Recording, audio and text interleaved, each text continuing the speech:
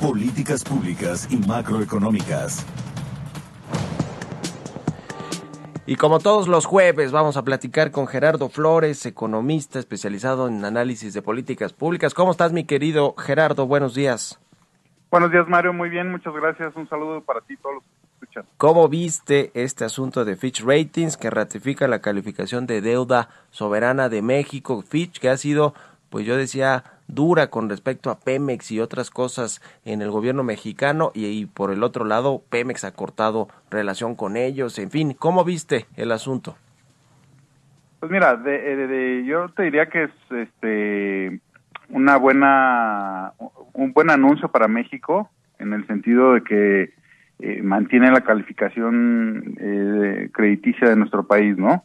Por ese lado, pues yo creo que pues sí hay que hay, que reconocer eso que que Fitch está emitiendo una opinión eh, pues que mantiene a México dentro de cierto rango todavía eh, de, deuda eh, pues que podría considerarse razonablemente valorada no y bueno desde luego que la Secretaría de Hacienda pues ayer destinó esto eh, saca un comunicado donde habla de esta calificación o de esta ratificación de la calificación crediticia de México, pero pues sí me llama la atención que, que, que si bien Fitch eh, mantiene la calificación, sí advierte de algunos posibles problemas hacia adelante, ¿no? O, o riesgos para la economía mexicana.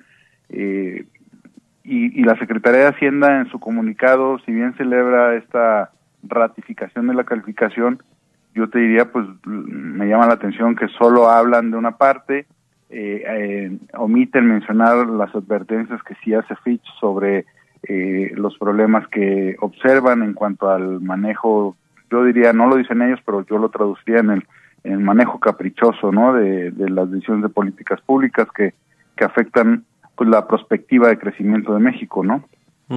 Este eh, el comunicado de Fitch es muy mucho más amplio que lo que reconoce la, la Secretaría de Hacienda, que se enfoca nada más en, en destacar esta parte de la de la ratificación de la de la calificación, ¿no?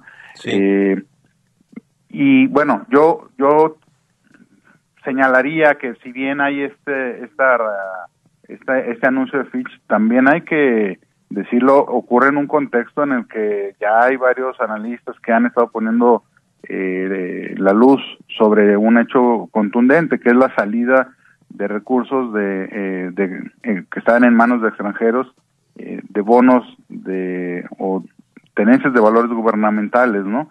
Yo te diría, yo he venido revisando este, este indicador y desde el 21 de febrero del año pasado, que fue el, el momento en el que más recursos mantenían los extranjeros de valores gubernamentales de México, de esa fecha al día de hoy han salido del país 578 mil, 579 mil millones de pesos, que en dólares son cerca de 26 mil millones de dólares.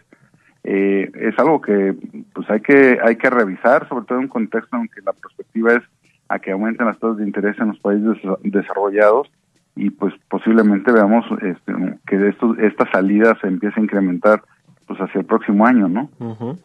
Pues sí, la verdad es que sí han salido muchos capitales de extranjeros, eh, mucha inversión financiera en bonos mexicanos y eso pues es una señal de preocupación, como tú dices, lo que sucede con las políticas públicas, el sector energético, en fin, y, ya veremos qué sucede. Muchas gracias como siempre Gerardo, un abrazo y muy buenos días. Un abrazo Mario. Gerardo Flores R en Twitter, nos vamos a la pausa, regresamos.